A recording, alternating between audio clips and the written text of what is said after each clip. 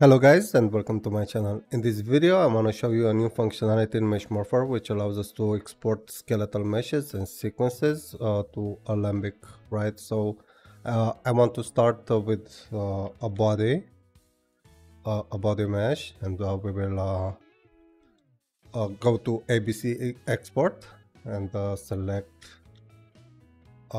an animation sequence you can select with or without animation sequences. So if you don't have any sequence selected it will only the abc file the alembic file will only contain one frame which will be the which will be the skeletal mesh in neutral.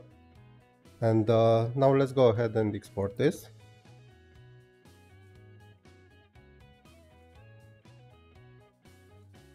It's gonna take a little bit to process all the frames in the animation sequence Okay, the export is completed. Uh, let's uh, let's see how it looks in Blender.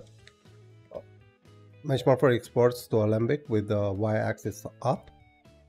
So keep that in mind. Let's test this. Oh, file, import, and ABC. And uh, we need to select our ABC file.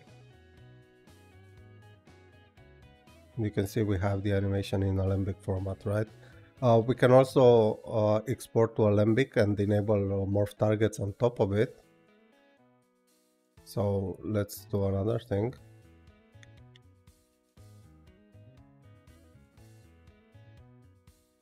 We have this morph target and uh, if uh, we test with the ARKit animation, the morph target uh, will mess up everything, right?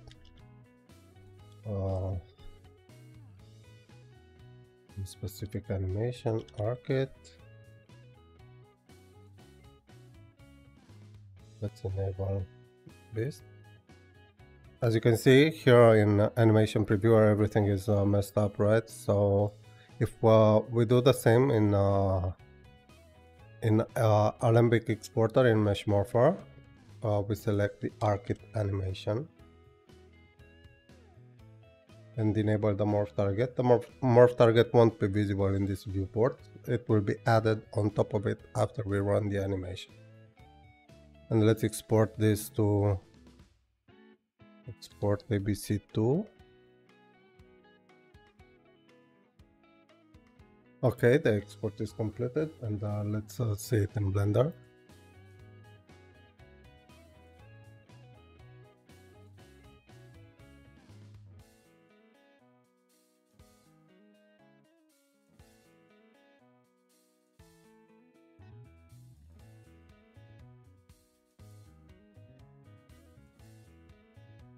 We see that uh, our export is not messed up. Well, if we export with this uh, morph target enabled because we apply the morph target after the animation right?